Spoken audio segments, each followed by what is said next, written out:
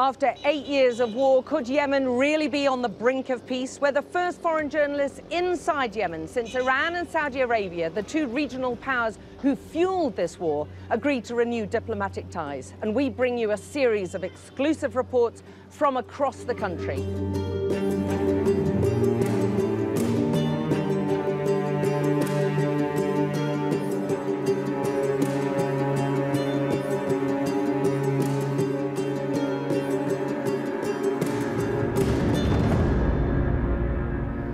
Conflict's often called the world's forgotten war. Unlike what's happening in Ukraine, this brutal civil war has raged here for almost a decade, and much of it without the world's attention, despite it plunging tens of millions of people into the world's worst humanitarian crisis. And worst of all, it is a totally avoidable man-made catastrophe.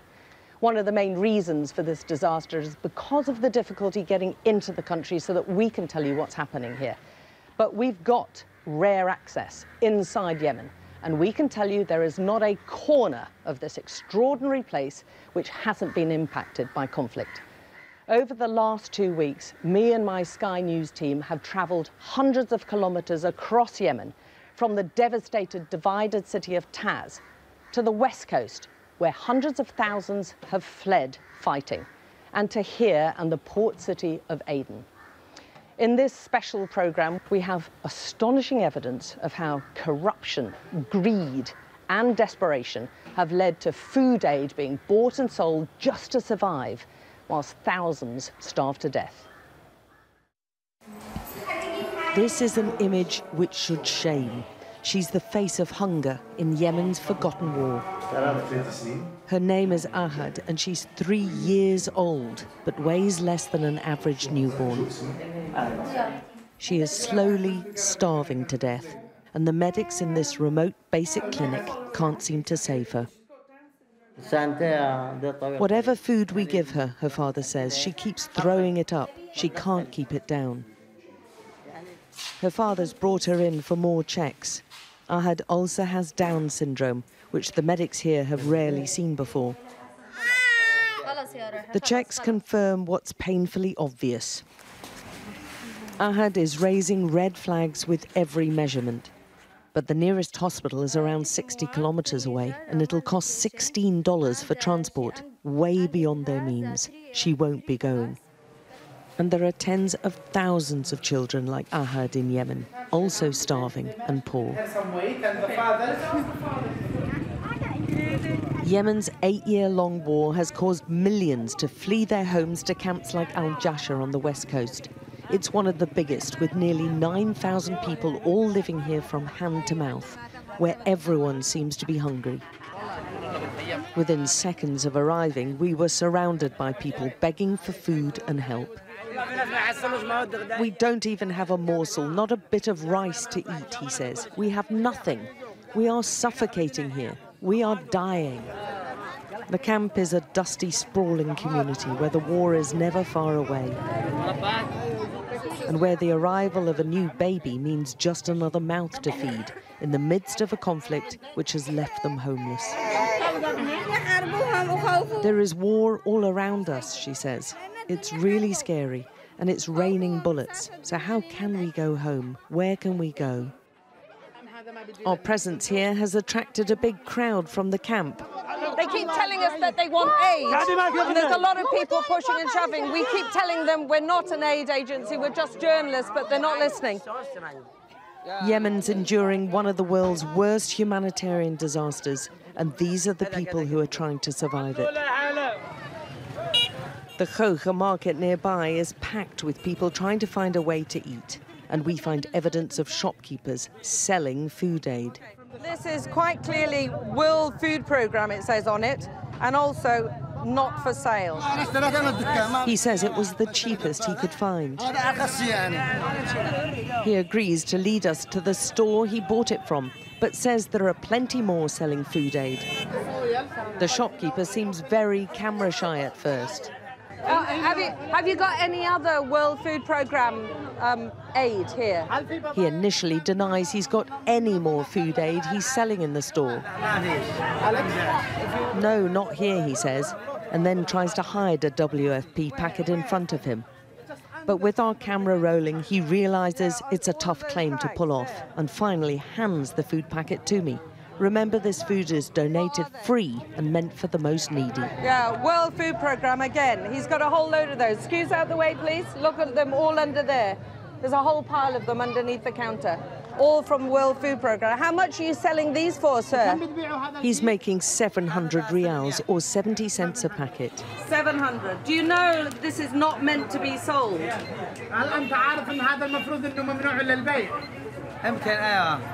Yes, he nods.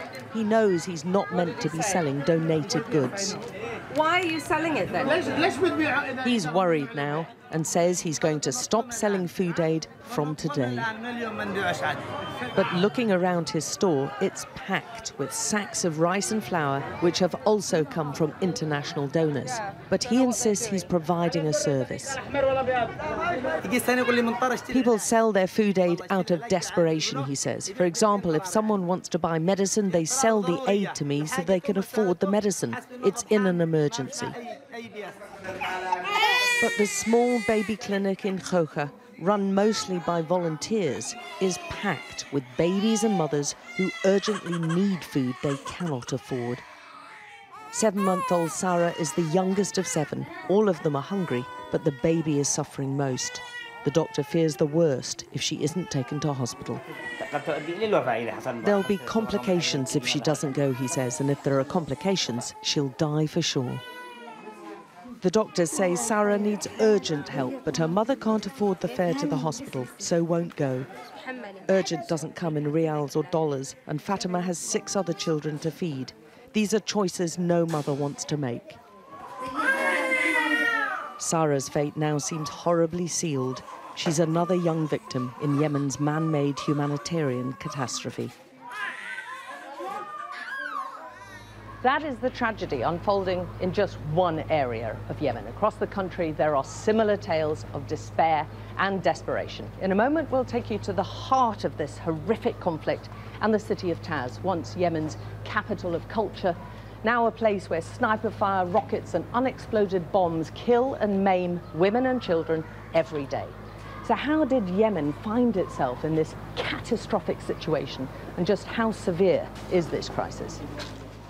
Well, the war in Yemen has been going on for eight long years. The latest UN estimates suggest 227,000 people have died in this war. Most of those deaths are from the indirect consequences of the war widespread famine, diseases like cholera, and a lack of health infrastructure. The war is being fought between, on the one hand, Houthi rebels who are backed by Iran and have taken control of the north of the country, including the capital, Sana'a and Yemen's former government, which is backed by a Saudi led coalition that includes the US and UK. Both sides have been accused of war crimes by multiple human rights groups. We travelled to the front lines in Taiz, in the south of the country, emblematic of the divisions and disaster here, to show you what life is like for those living in a city under siege. We're given a two vehicle government army escort to head towards the besieged city of Taiz. It's been split in two for most of the past eight years of war, with most key roads into and out blocked off by fighting. It's meant a uniquely slow torture for the Taiz civilians, with the Houthi militia held to one half of the city by government troops who control the other. The city has been blasted to bits in places, with booby trap bombs buried in gardens by the retreating fighters, and mines hidden in kitchen ovens to blow up any returning residents. They've been planted down alleyways and left in the piles of rubble and rubbish. The siege has brought parts of Taiz to the brink of starvation, yet families are still living here. Mohammed shows us round the bombed out shopping centre, which is now his home. His family's living in the basement. A lot of damage to every floor that we've visited so far. A lot of hits on just this building alone. Over there is one of the Houthi bases, Mohammed tells us. It's by the old presidential palace. It's from there snipers pick off civilians or fire rockets. Three of Mohammed's children were born in this siege. They all show signs of malnutrition and spend most of their lives inside. Of course, I worry about them, Mohammed says. This isn't a safe place. I don't let them go outside on their own in case there are rockets or anything. Neither children nor pensioners are safe. Kaba was shot in the back by a sniper. Her home's right on the front line, and she refuses to be pushed out. I refuse to leave my house, she tells us. I refuse to. The Houthis would shout at me, crazy woman, leave your house. But I will never, ever leave. The war has never let up in Taiz, and whilst there's increasing optimism about a negotiated settlement for the country, those hopes seem to have halted at the gates of this city. Just to give you an idea of how close they all are living to the front line, at the end of that road is where the fighting is, no man's land. And dozens of families are living in this area. And they've had to put up sheets to try and obscure the view of the sniper who has positioned himself just beyond there. It means constant exchanges between the warring groups. We're defending our land and our families, one tells us. We want peace, another says, but they don't want it. They're killing innocent people and children, and that's why we carry weapons. This intransigence has led to one of the world's worst humanitarian disasters, with starvation, poverty, and disease in the hospital wards, homes, and streets of Yemen. Three month old Ayad is holding on to life by a thread the youngest of six who've all had the same battle to survive in a country where her mother has to choose between food or medicine when she can pay for neither. My daughter was very weak and we needed to take her to the hospital, she explains. But we didn't have the money, so we had to wait to try to get some, and by then she was unconscious. Those like Fatima want justice too. The mother of nine knows more than most about loss. They were kids, not fighters. She's talking about her children. Four of them were blown up in one day. Three were killed outright. The fourth, only a toddler, lost a leg. Photos of their mutilated bodies are all she's left of her babies. And she's praying for revenge for their violent deaths. She's compiled a file with their details and wants to track down those who fired the mortar shell that killed them as they were playing outside their home. Nothing can ever replace my children, she says. Layla, Hamid, and Mahmoud, they'll never come back. Look at these pictures, she keeps saying to us. They're just children. Eh. She's pregnant again, but would have aborted if doctors had agreed. She doesn't want to bring another child into this war torn place. She can't feed those she still has. Her two year old Malik has sweet tea with yesterday's bread. It's her first and only meal of the day. The tragic daily struggles there for families living under siege in the city of Taiz. One of the many tragedies of this war is that the last 12 months was supposed to be a real opportunity for peace in Yemen. A truce signed between the Houthi rebels and the government forces should have ended the fighting and laid the groundwork for talks between the rival parties. And although there is some hope for the future, civilians are still being killed and injured daily often by mines deliberately left behind by the Houthi rebels, and that is a potential war crime under international law. So too are the thousands and thousands of airstrikes by the Saudi-led coalition which have targeted schools, markets, homes, and many of these victims are children. It is an horrific and heartbreaking legacy of war. Uh... The talk of peace in Yemen doesn't drown out the cries of the war victims. Oh, Hatab's still a teenager, but he's lost both his hands and his sight and all hope for a better future now. His body is peppered with shrapnel wounds, many still lodged in his chest. He doesn't seem aware of how severe his injuries are. And he won't be able to get the specialist help he so urgently needs inside Yemen. His father appeals to us to get his son medical help. He needs to go out of Yemen, he tells us. He's a human. There are lots like him, but look how he's suffering. They can't make artificial limbs quickly enough to cope with the growing number of amputees who need them now. But creating prosthetic legs are easy in comparison to electronic hands, which are very expensive, so they mostly do cosmetic arms. This only for cosmetic, not for... Only a cosmetic hand? Yeah, yeah. Not, it doesn't move? Not functional at all. Mm, it this, doesn't do anything? Yeah, it doesn't do anything. Many of the amputees are children. There's a whole generation like Abdullah growing up maimed and mutilated by this long war. Most of Abdullah's 10 years have been spent living in this war zone. He still has ambitions to be a footballer and is a taekwondo enthusiast.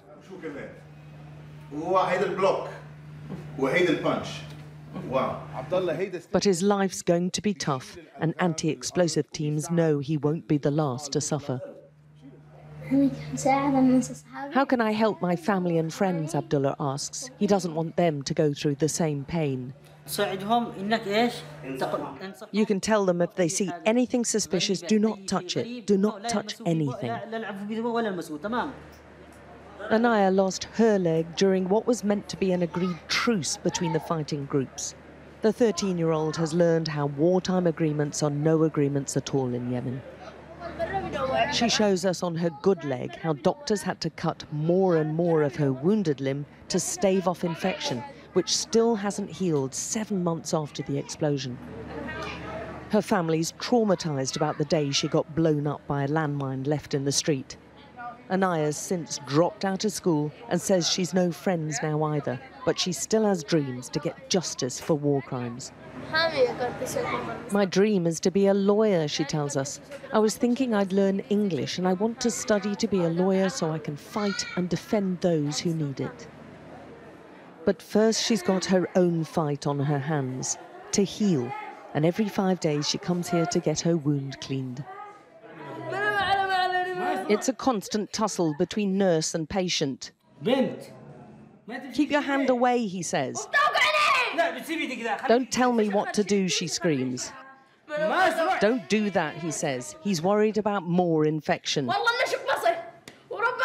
It hurts, it hurts, Anaya sobs. It's acutely painful, and she's had seven months of this pain.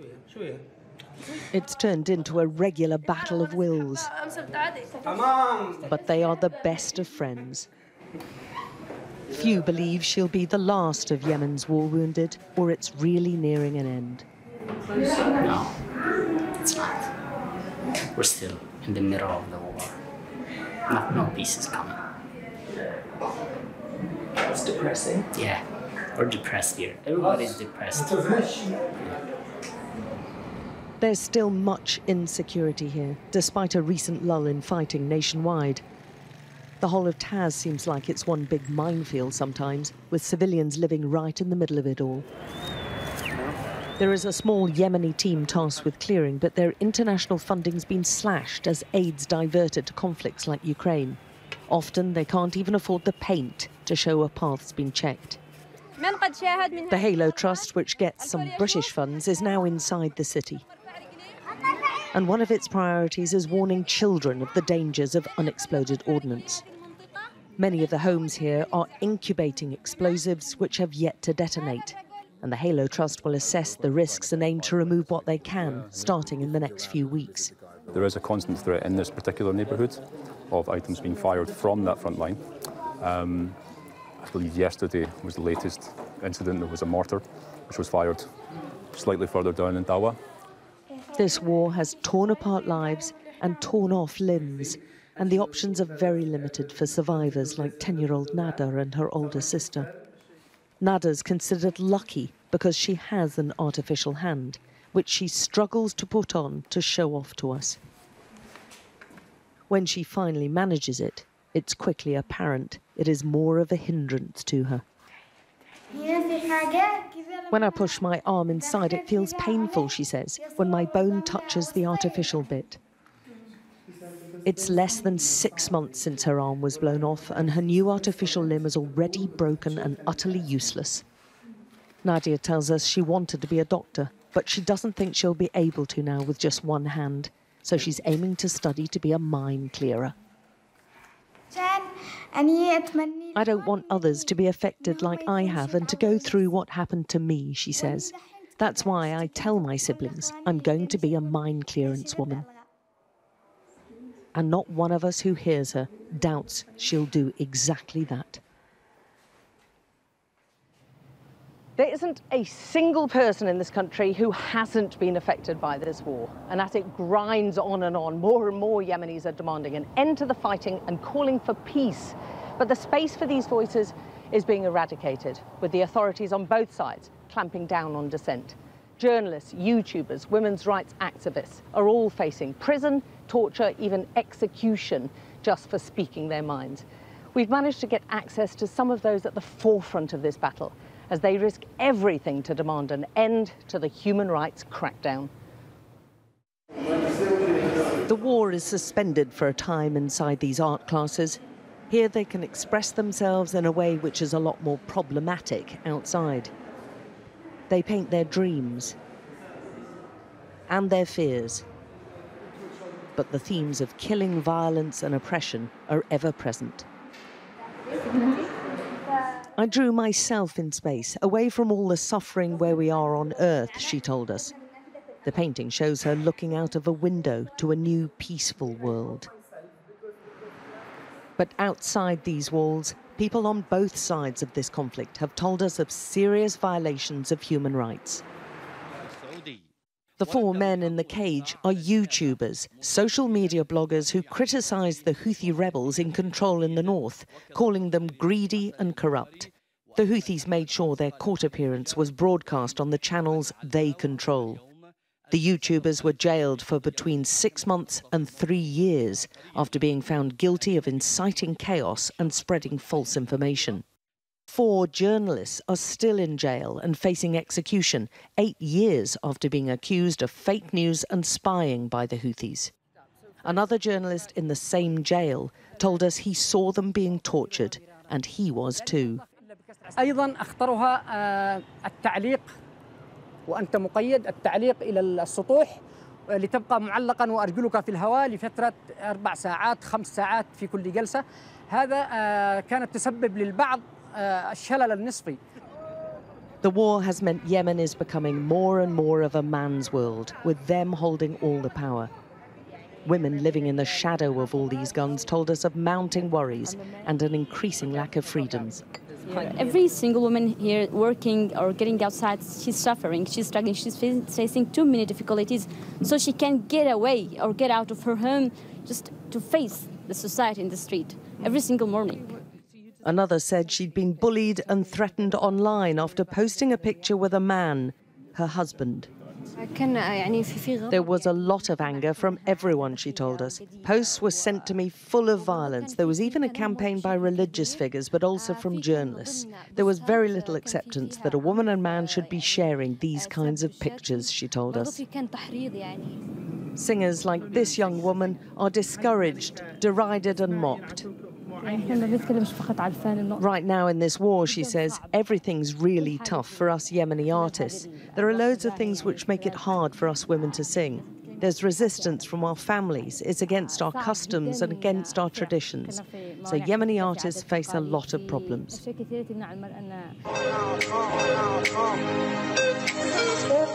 A model who posted videos on TikTok and Instagram is now facing five years in a Houthi jail. Her Instagram pictures without a hijab caused outrage amongst the Houthi de facto authorities. She was accused of immoral behaviour, committing indecent acts, and drug possession. The 20 year old's jailing has caused shock inside Yemen and beyond, and underscored the huge challenge of restoring human rights in the country. The brave women and men there refusing to be silenced despite the risks. Well, the recent restoring of diplomatic ties between Iran and Saudi Arabia has brought us closer to possible peace than ever before. But the challenges which remain are considerable. International aid is being slashed, placing even more Yemeni lives at risk. The legacy of unexploded ordnance threatens hundreds of thousands of civilians. And the proliferation of weapons amongst armed groups means there is still so much that needs to be done before this country can ever see an end to war. We've tried to bring you as rounded a picture as possible of what life is like right now for Yemenis, and not just their hopes for peace, but their need for accountability to bring those responsible for war crimes and human rights abuses to justice one day. Our Sky News team on the ground here in Yemen includes cameraman Jake Britton, who brought you those staggering images, Middle East editor Zain Jafar, and our Yemeni producer Ahmed Baida. And big thanks and much respect to the dozens and dozens of Yemeni civilians who let us tell their stories, often at risk to themselves. Thanks for watching.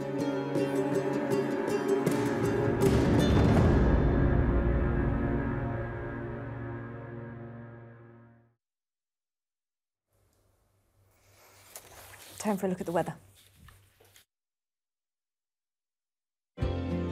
Warm memories wherever you go. The weather, sponsored by Qatar Airways. Further blustery showers are on the cards, but it will turn colder from Sunday as a northerly wind brings the return of overnight frosts. There will be scattered showers this evening, some heavy with a risk of hail and thunder accompanied by gusty winds in the south. Longer spells of rain will affect parts of Scotland and Northern Ireland. It stays breezy tonight with showers or longer spells of rain. The showers could turn wintry over the Scottish hills with an increasing risk of snow. Saturday brings another day of sunny spells and showers, heaviest and most frequent in the north, and they're going to be wintry over the hills. An area of more persistent rain, heavy at times, will spread into southern Ireland and into southwest England by the evening. Overnight rain will clear southwards on Sunday morning to leave sunny spells, wintry showers, and a risk of snow and ice in the north. It will feel cold with a marked wind chill.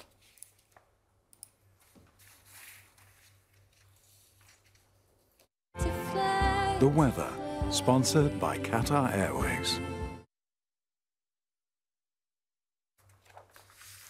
This is Sky News Tonight. Coming up in the next hour, violent protests force the postponement of the King's state visit to France.